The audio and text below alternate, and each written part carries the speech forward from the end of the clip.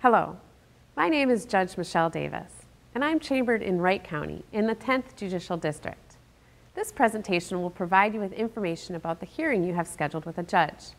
This hearing is called the Initial Case Management Conference, or ICMC for short. To help you get the most out of this hearing, it's helpful to understand these three things. One, the purpose of the Initial Case Management Conference. Two, a general description of alternative dispute resolution and the early neutral evaluation program. And three, what will happen in your case after the initial case management conference. First, the purpose of the initial case management conference. The ICMC is an opportunity for you, your lawyer if you've hired one, and the other party in the case to meet with a judge. This meeting will occur within three to four weeks of filing your divorce or custody case. The purpose of this conference is for the judge to find out what issues the parties have agreed to in your case, what issues are not yet resolved, and what efforts have been made to reach an agreement. For example, the judge may ask whether or not you and the other party have gone to mediation. In addition, during the conference, if the county has such a program, the judge will explain to you what the Early Neutral Evaluation Program is and will offer you a chance to participate in the program.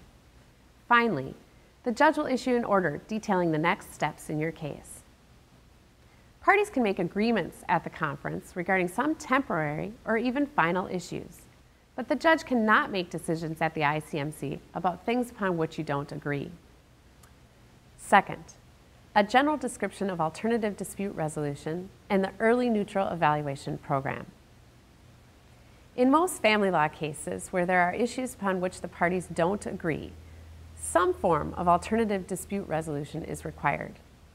Alternative dispute resolution, or ADR processes, are alternative methods to help people resolve legal problems before going to court.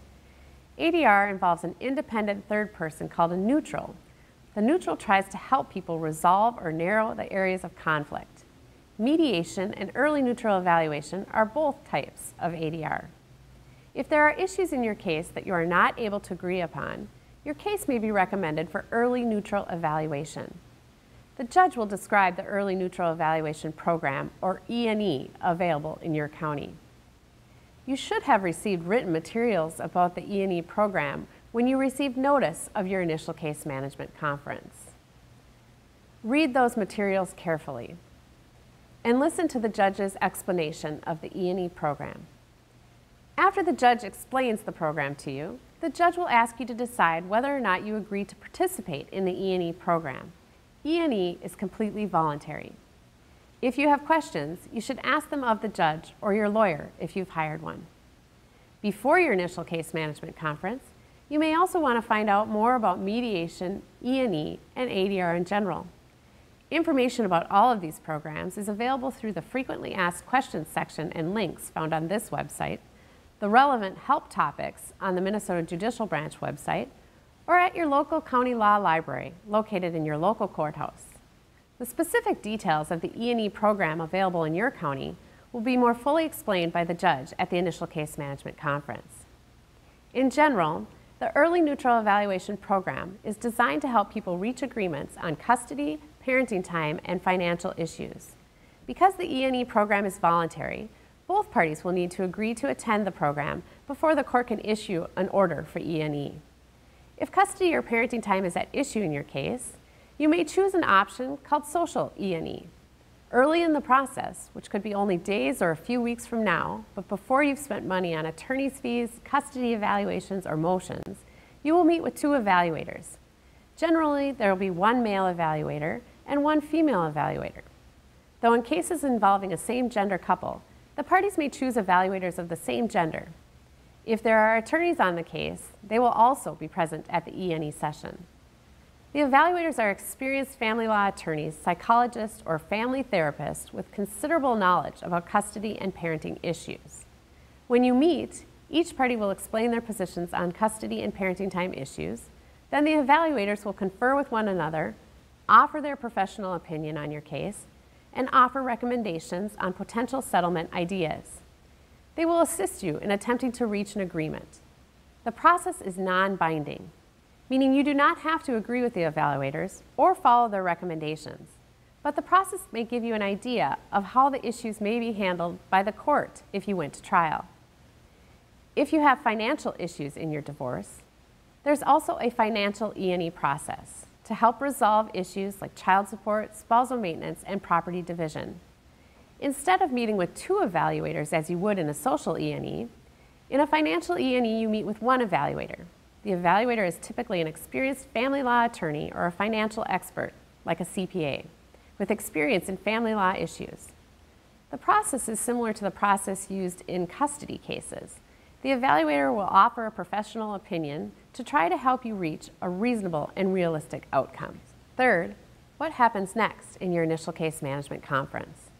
In some cases, the parties reach an agreement on some or all of the issues during the initial case management conference. In these cases, the judge will make a record of your agreement and then direct you or your lawyer to put together the paperwork to finalize your agreement. You may need to appear at a separate hearing to finalize your agreement. If your case is not completely settled and you choose to participate in early neutral evaluation, the judge will give you a roster of evaluators to choose from and tell you how much the ENE session will cost. The judge will sign an order that sets out the issues for the evaluator or evaluators, and in some counties, schedule the date and time for the ENE session. The order will give you the names and the contact information for the evaluators. Once you agree to ENE, you must pay for and attend the session as directed by the judge. Only the judge can cancel an ENE session once it has been agreed upon by the parties and ordered by the court.